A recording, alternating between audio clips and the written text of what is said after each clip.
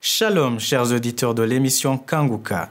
Aujourd'hui, nous sommes lundi et vous allez tout de suite écouter l'émission de ce matin. Soyez bénis. Shalom chers auditeurs de l'émission Kanguka, mon nom est Chris Dikumana. Aujourd'hui nous sommes lundi. Vous allez suivre la première partie avec le serviteur de Dieu Estras Birangoza et moi je vais continuer dans la deuxième partie.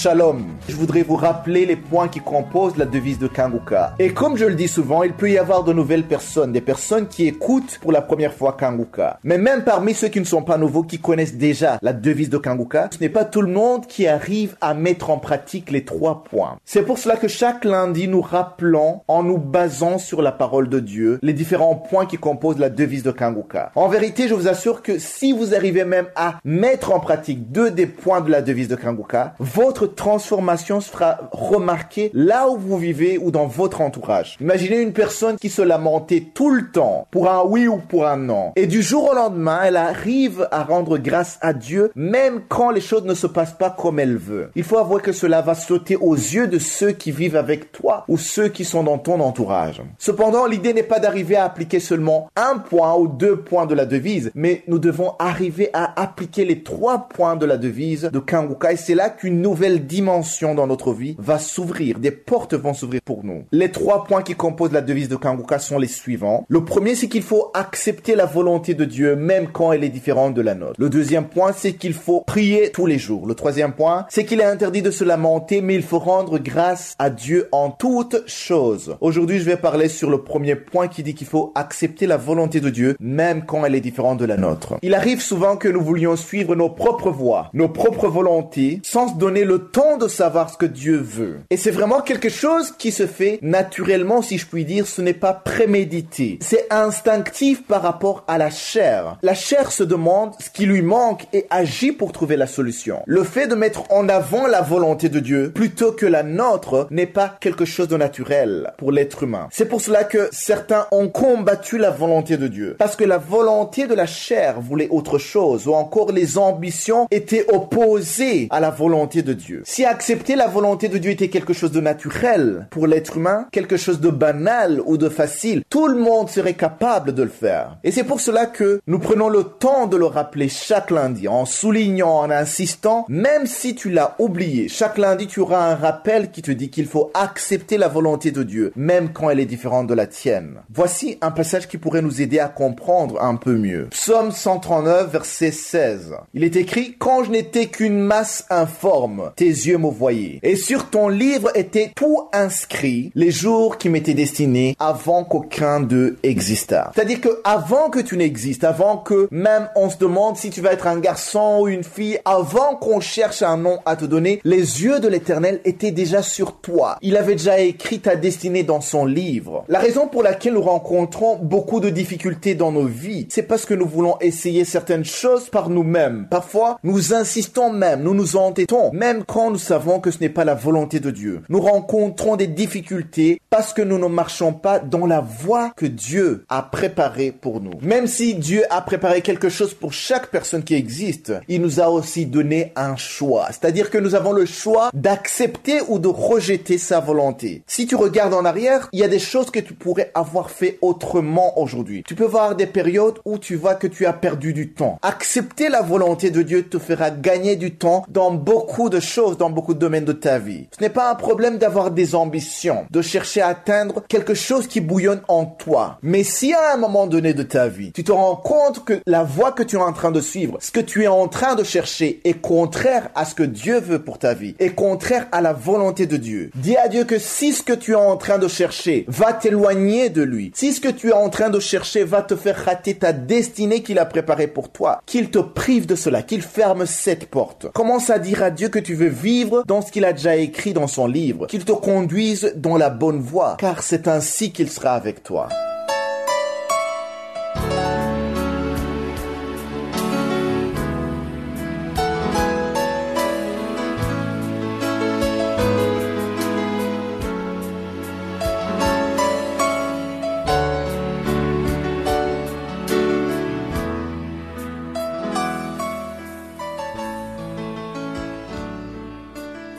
Sommes maintenant dans le moment réservé à l'enseignement. Nous continuons à étudier sur le livre de Néhémie. Nous avons déjà parlé de beaucoup de choses. Et si tu es nouveau dans l'émission Kangoka, je t'invite à aller consulter les archives. Nous avons commencé cet enseignement le 19 août. Je me suis beaucoup concentré sur les six premiers chapitres parce que tout ce qu'on dit dans les six premiers chapitres, ça nous concerne aujourd'hui et surtout sur les réseaux sociaux. L'esprit de Sambalat et Tobija fonctionne beaucoup sur les réseaux sociaux. Comme je vous l'ai dit, à l'époque c'était difficile parce qu'il fallait que Sambalat et Tobija se déplacent physiquement et être là où ils étaient en train de construire. Mais aujourd'hui ce n'est pas le cas. Il suffit de créer une page Facebook ou une chaîne YouTube et tu commences à insulter les serviteurs de Dieu dans le seul but de les décourager. Il faut comprendre le but de Sambalat et Tobija, c'est de pousser les serviteurs de Dieu à arrêter l'œuvre de Dieu. Voilà pourquoi au verset 3, nous avons vu dans Néhémie chapitre 6 verset 3, Sambalat avait envoyé un messager pour demander à Néhémie d'abandonner le chantier et aller chercher Sambalat pour discuter et tout ça c'était un mensonge. J'aime beaucoup aimer la réponse de Néhémie au verset 3. Il a dit, je ne puis pas descendre, le travail serait interrompu pendant que je quitterai pour aller vers vous. Au verset 8, il a été clair, il avait eu la révélation, il a dit, ce que tu dis là n'est pas, c'est toi qui l'invente. C'est vrai que sur les réseaux sociaux, on peut dire des choses qui sont vraies, mais la plupart des choses qu'on dit sur les réseaux sociaux, ce n'est pas vrai. Ce sont des choses inventées dans le seul but de te distraire et que tu abandonnes l'œuvre de Dieu. Nous avons vu au verset 6 et 7 qu'ils ont créé des choses qui n'étaient pas vraies. Ils ont essayé de jouer sur la peur de Néhémie. Il a montré que Néhémie était en danger. Quand on parle de coup d'État, tu veux renverser le roi, c'est quelque chose de dangereux parce que tu pouvais mourir. Il voulait montrer à Néhémie que s'il ne vient pas, il peut même mourir. Au verset 7, on voit que tout ça c'est un complot il termine le verset en disant, viens donc et consultons-nous ensemble. C'était pas de l'amour, c'était plutôt un piège. Serviteur de Dieu, priez pour avoir le discernement des pièges. Il y a beaucoup de pièges dans l'œuvre de Dieu. Si tu ne sais pas, tu vas tomber dans le piège. Tu vas penser que quelqu'un t'aime, qui te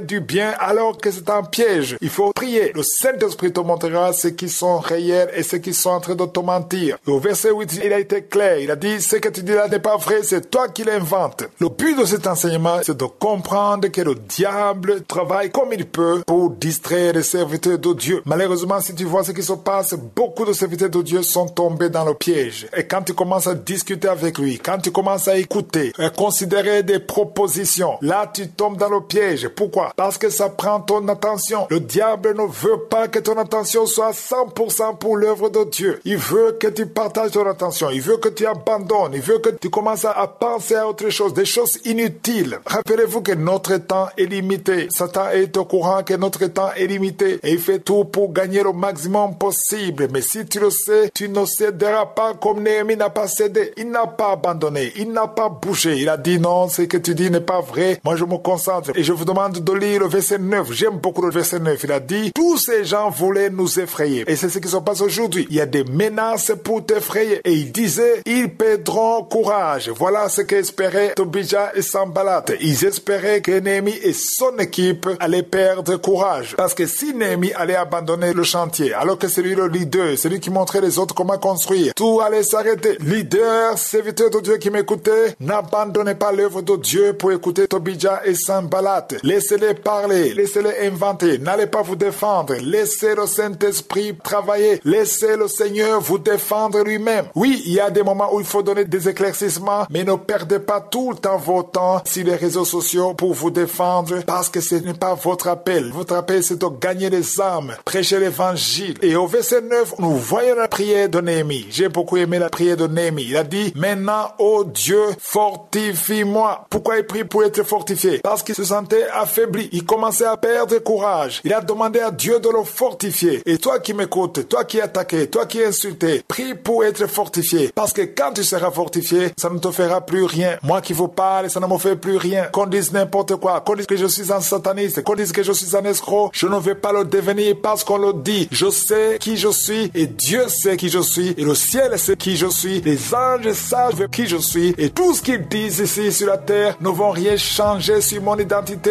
aux yeux de Dieu. Continue l'œuvre de Dieu et ne cède pas. Je vous ai montré que quand un plan ne réussit pas, Satan change toujours de stratégie. Et demain, je vais vous montrer comment il peut utiliser tout ce qu'il peut, même les fausses prophéties, pour dérouter les serviteurs de Dieu. Que je suis vous bénisse. Passez une excellente journée. J'espère que vous avez été édifiés. N'oubliez pas de cliquer sur la cloche afin d'être averti chaque fois qu'une nouvelle émission est postée. Soyez abondamment bénis.